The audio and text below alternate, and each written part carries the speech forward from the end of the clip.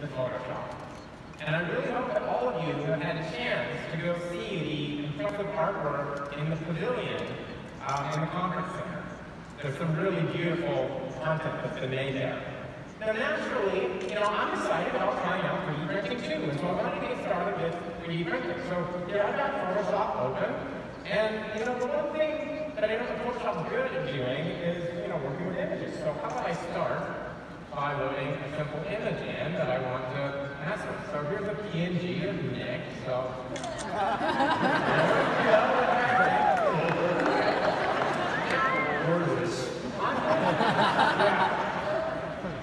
So I uh, want to turn this into 3D so I can print it out. So let's look at what options I have currently in Photoshop here. 3D, mesh layer, postcard, and there we have it, a 3D version of Nick. Well, this isn't that exciting. I can send it to a 3D printer and it would be this little flat plane and kind of boring. But how would you like me to actually generate a full 3D version of this image right now?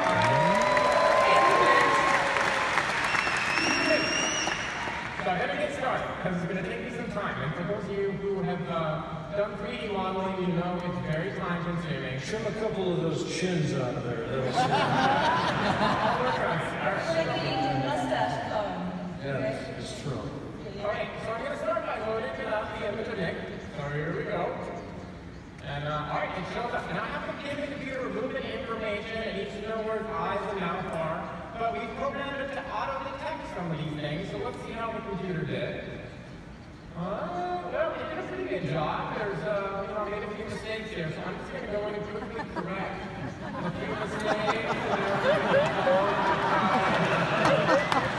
confusing. Alright.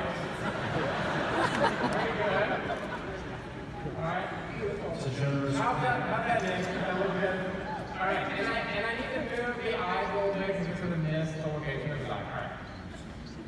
So, the other thing I need to tell the computer is where the hair is, because when I'm going to turn Nick into full 3D, hair requires some special processing. So I need to quickly select, uh, you know, the hair. So I'm going to come over here and do a little hair paper tool, and I guess that's close enough. It looks pretty good. Now, the last bit of information to do the full 3D modeling process is to specify where his neck and shoulders are. And so I'm going to do this here.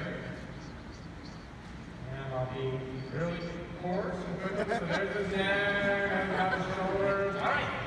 So at this point, I'm done. I'm going to hit the process button, and now the laptop is churning away, smoke's coming out of it, and it takes quite a bit of computation. So the algorithm right now is taking in the mask of the hair that I drew, the landmark features, in just a regular 2D PNG file, and probably about another 10, 15 seconds, you're going to see a full 3D version pop up.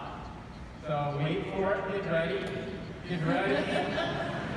Fingers crossed, half crossed yet. There we go.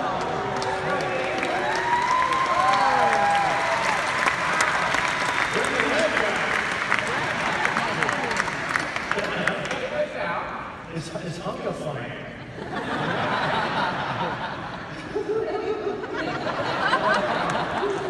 I'm going to steam you over. And we're gonna come over here and open that same uh, file into Photoshop. It's an OBJ file for those you know, 3D uh, experts out there who like 3D file format.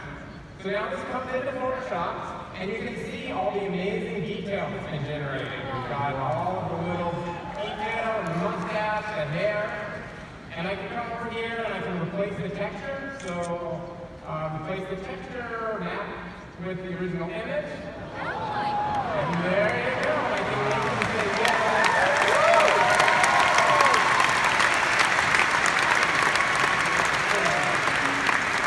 We're going to blow out your GPU, friend. So the next step is to send it to a 3D printer. And you know, unfortunately, 3D are rather slow. And I go to the menu and send it to a 3D printer and print surface. That would to do on stage, and it would take you know hours.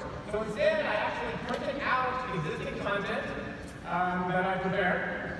So, and again, these are unretouched. They took about two minutes. So here is um, a 3D portrait of Kim from a black and white photo.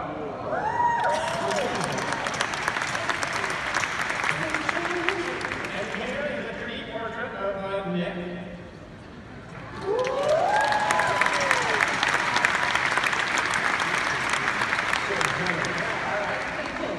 It's amazing. Uh, thank There you you. go. I guess I'm looking at the front of your canoe, so. On the hood of my station wagon. That's amazing. It's beautiful. All right. Thank you so All right, much. great work. Thank you.